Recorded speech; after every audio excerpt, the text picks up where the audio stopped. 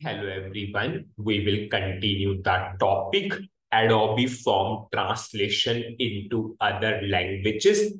And in the previous video, we discussed whenever you want to do the translation of Adobe Form, you can directly go to SE63 or from SFP transaction code also, you can navigate to SE63. Now, in this video, we will cover important points, extremely important points, because during that translation of Adobe Forms, Adobe Form, you, we face some challenges. How we can overcome those challenges, that will also be covered in this video, especially whenever we are translating for the second time, third time, then we will face challenges. For the first time, there will be no challenges. But when we do that translation multiple times, at that time we will face challenges and we will see how we can overcome those challenges. Now, I will simply, simply go to SE63 transaction code.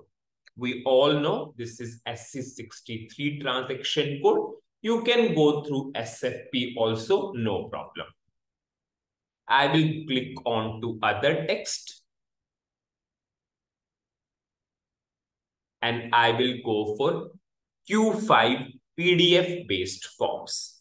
I will go for PDF B, PDF based forms. I will put the name of my Adobe form. Yes. And we will go from English to German. Suppose our target language is German. I will go for edit. Now the first important point. I already did that translation one time when I practiced yes. So that's why I'm getting the status green. And it is important point. One time you do the translation of your Adobe form the status is always, always green after that. Why I'm saying this? Because whenever you will do the translation for the first time, you will get a red symbol here, not translated. Please take care for the same because I cannot revert this. So that's why for me, the status is coming green already if you are coming for the first time for the translation of that PDF form, you will get a green, you will get a red signal here, not translated. For me, it is coming green because when I practiced, it converted to green, yes. And one time it converted to green, then we cannot revert back. Yes, now it is translated. For you, if you are doing for the first time, it will be in red and not translated. Now, whenever you are coming for the first time, you will see this portion as completely blank, completely. You will get a text into English language, but this will be completely blank. Please take care for those points because I already did that translation one time. That's why I'm getting a text here. You will see a blank, completely blank here if you are doing for the first time. Now, what you have to do after that? You will find a button here, copy source text. Whenever you will click on to copy source text, whatever is here, it will automatically copied into that target. So this is our source and this is our target. You need to click on to this button, copy source text. See, for me, this pop-up is coming. Do you want to override? Yes, I will override. For you, no pop-up will come because you are doing for the first time. If you already did for the first time, you will get same to same thing. I override. Now, now we will go for understanding here. We are getting each and every text which is in our Adobe form. If I will go for our Adobe form, SFP, you will see whatever we designed in the layout, we will get each and every text except the reusable text. I will come to that point. If I will go to the layout, I will copy and show you so that you can understand fully. I will copy this and show you in Notepad itself so that you can understand that we are getting each and every text. Now you can see document category. We have document category. Okay, first text. Then we have username, username. Then we have item details, item details. Then we have net value, net value. Then we have sales document number, sales document number. Then we have item, then we have item. Then we have header details, header details. Then we have time, then we have time. Then we have creation date. You can see we have creation date. We got all that text, but have you seen whatever is here it is not coming here. It is not coming here. This point we covered in the smart form also. Whenever you are displaying some text by using text module or include text, we have a different process for that translation. So as of now, whatever that text we will translate these are your hard-coded text which you are writing by your own. If I will run this Adobe form, if you see, we are in this particular sub form, we are using text one. If you see text one, if I will show you text one, text one is our include text. If you see, text one is our include text if I will run this Adobe form, so we are getting sales order details, sales order details.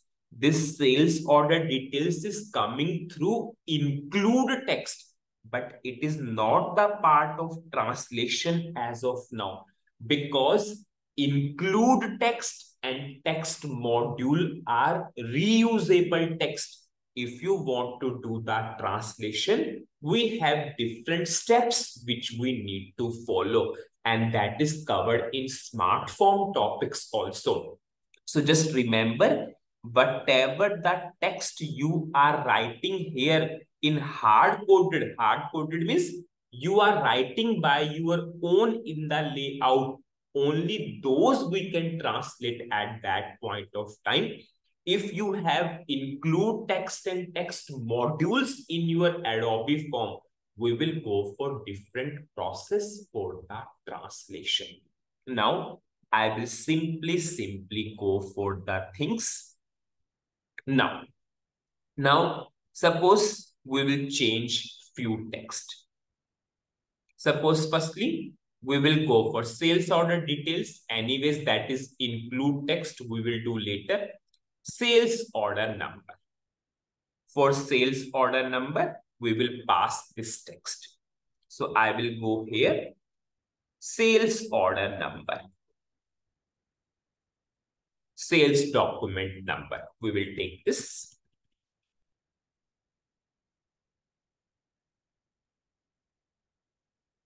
I pasted the text into German language now I will go to header details. This is header hyphen details.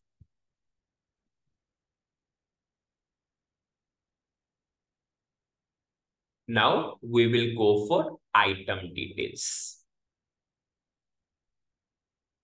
So now I will put item details. This is item details. Now I will go for activate. Once I will click on to activate, you will automatically understand that why I told you it is one time translated, then we cannot revert back. If I will go for activation,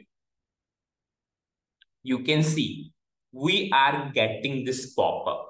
You are going for active version and have status translated. We cannot revoke the status. So that's why I'm unable to show you in red one time you translated, yes, the status will become after that translated.